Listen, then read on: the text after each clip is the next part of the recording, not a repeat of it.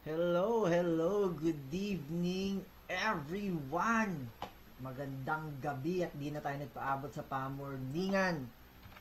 I hope that uh, you're all uh, there waiting. Alam kong this past few days are quite empty dahil di ako nag di ako nagla-live. Talagang sinadya ko po to to prepare my voice and of course to study this particular this particular thought experiment. And this is uh, especially a request from one of my friends sa birthday girl last Sunday. So, dahil International Cat Day nung Sunday, at ngayon lang ako nakapag nakapag live so belated International Cat Day sa mga cat lovers. So, ayan. Before anything else, I am Coach Joriel or Coach TJ, whichever it is easier to say. I'm a certified CACC professional life coach from Life Coach Philippines. I'm a certified martial arts instructor and a marine engineer by profession. I help people navigate through life and love through coaching, classes, and services that includes responsible online dating. I'm a scholar of Master Coach A for public speaking, and this episode is titled Schrodinger's Kitty, the Mind Twister. So, this is a request from M. Stein. Birthday niya nung, ano, nung nakaraan lang. And, to complete the experimented animals of the thought experiments segment that I do every week. So, meron kang uh, Buridan's donkey, ano pa ba? Meron kang Borel's monkey, and now it's Schrodinger's kitty. Kawawa naman tong mga hayop na ito.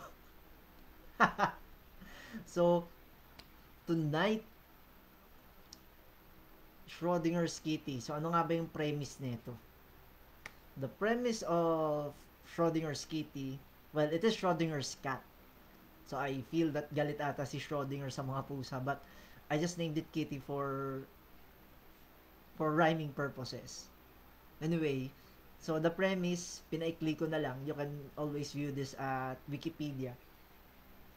So, the premise is a cat is placed inside a metal box. Within the metal box, along with the cat, is a minuscule piece of radioactive matter that may or may not decay within the hour. If it decays, a Geiger counter activates a hammer that smashes a small flask of acid that in turn terminates the cat. The contraption inside the box is cat-proof, so hindi pwedeng itamper ng pusa yung buong contraption lest it terminates itself earlier. Diba?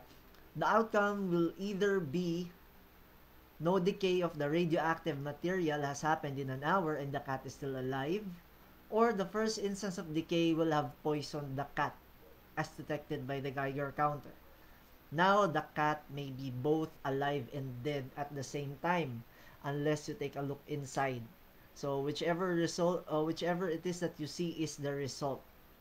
So, medyo nakakalito siya kasi uh, this thought experiment posits or tells you that in any point of the experiment or even uh, any point in the experiment before you the observer takes a look in the box the cat is both dead and alive.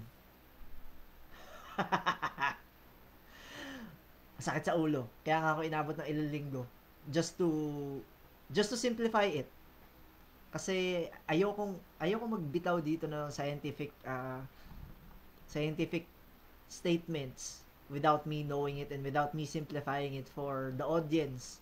Ayoko na pasakitan ng ulo nila. so yun. So if you check Wikipedia or if you check other sources, there are at least seven interpretations that you can get. And each of them explains in a much more convoluted manner.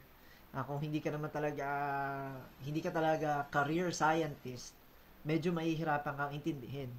And I am not a career scientist. I'm just a life coach who also knows how to handle cats paminsan-minsan. I will uh, I will I will honor it. So among the interpretations na nabasa ko, among the seven, I can definitely say that uh, I have a mix between the Copenhagen Hagen and the relational interpretation. Hindi ko na siya explain pa isa-isa dahil that will take too much time and too much brain cells on my behalf. Maluluto po ako. But the way that I see it, the way that I understand it is you have a pristine system. Pristine, ibig sabihin, walang nangingialam, walang contamination. So, everything that's inside the pristine, uh, pristine system, when you observe it, it gets altered the moment you observe it. So that's one. Why? The pristine system, everything inside. So, pag hindi mo siya kita ng buo, there's a possibility that inside, the state of everything there would be anything and everything in between. So, kaya nga, sabi doon sa thought experiment, the cat is both dead and alive. So, buhay siya and patay siya. So, anything and everything in between exist.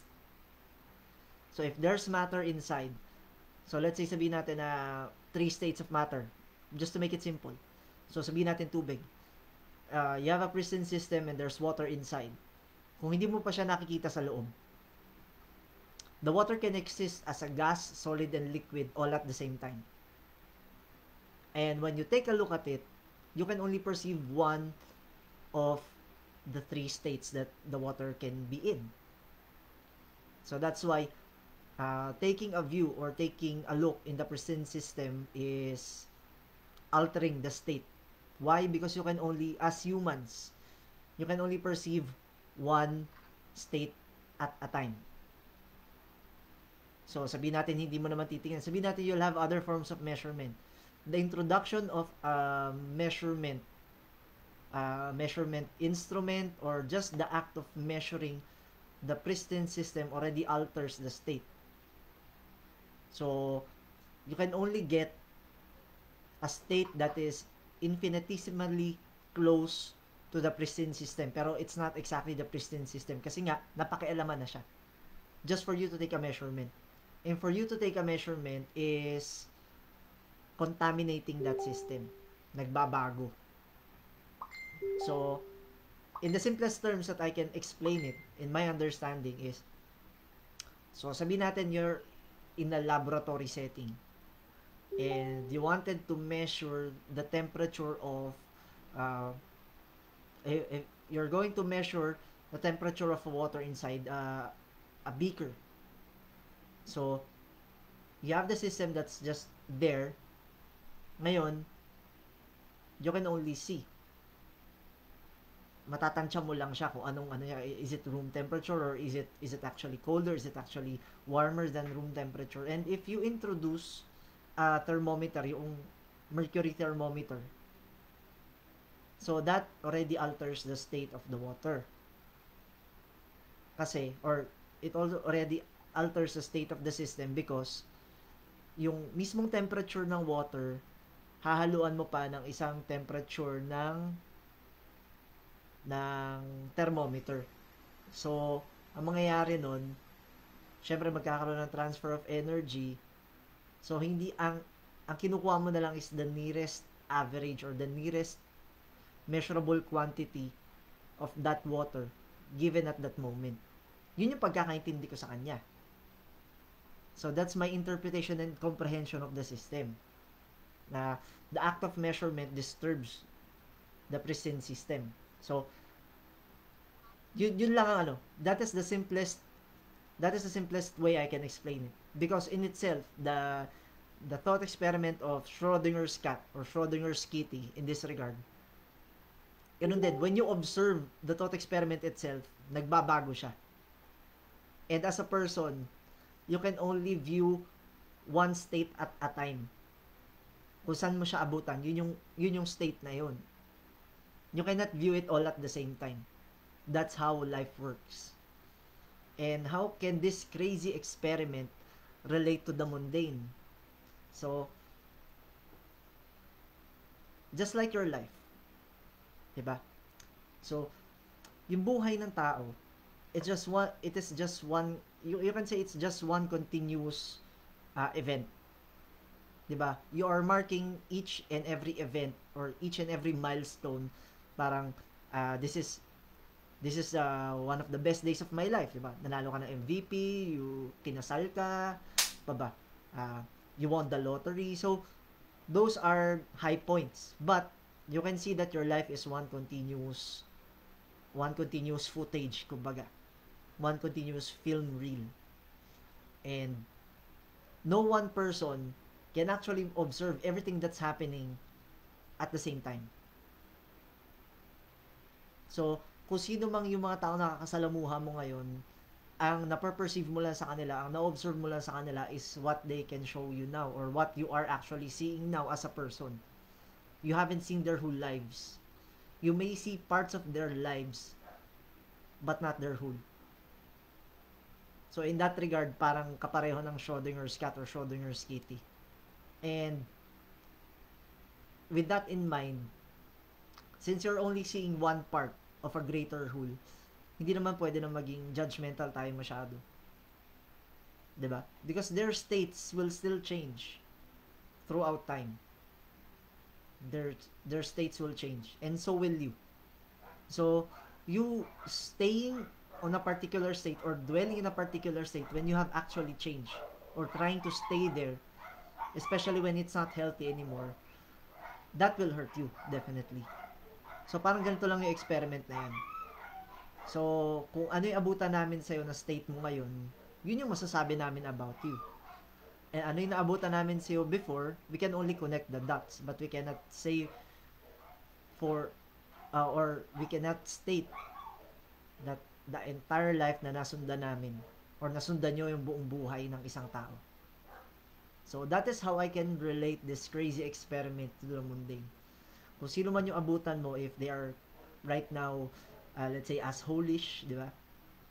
Medyo may pagka nakakainis sila they are probably not uh, naabutan mo lang silang ganyan. They may not they may not truly be that person siguro yung circumstances are just not favorable for them and that's why they act out and people who are seeing you now na you've grown hindi nila nakita yung part na pinaghirapan mo, the part that you were that you were lashing out. So, give it time. Give it time and you will see and you will view a more representative sample of the people. Parang katulad lang din sa mga interpretations nitong Schrodinger's kitty. So, I hope that you've learned something for tonight. Alam ko medyo mabigat yung topic.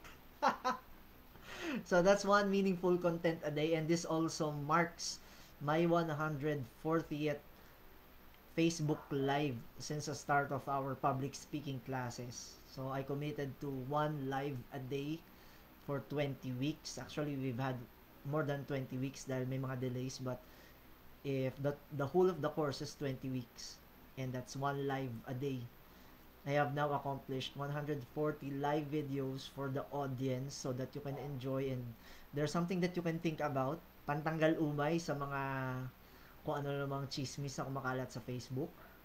So, ano lang. Uh, I hope that I will be seeing you again soon. Maybe next week. Don't know. Gagawa ulit ako ng bagong content. And I am grateful for Master Coach A and for my classmates who have been with me in the journey. I have learned a lot and definitely I'll be carrying this throughout my life. And dun sa tribe ko na sumusuporta palagi, I will be more than present dyan sa inyo. So, ayan. And sa mga tao dyan na naghahanap ng makakausap and naghahanap ng makakatulong sa inyo or just finding someone who can just listen to you. The life coaches are here. You can send me a message. I'll be more than happy to check upon you from time to time and talk to you, help you process all those emotions. And if you are curious about uh, life coaching, you want to experience the magic of life coaching, or you want to be certified as a life coach, do connect with us at Life Coach Philippines at 0917 586 1661 That's your 917-586-1661. And if you have any comments, suggestions, questions, clarifications, or violent reactions, do let me know at papaunlakan ko po yan. I'm not saying that I'll be stopping posting content. I'll just be taking a rest for a while. Para naman makapagpahinga aking lalamunan at hindi kayo tuluyang maumay sa akin.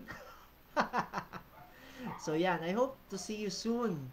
So I hope that you are all staying safe, cool, dry, hydrated, vaccinated, and healthy as always.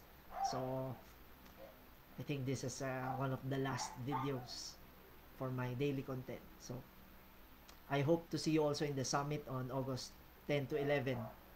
Gagawa ulit ako niyan para mamaya. So, I'll be seeing you soon. Peace out.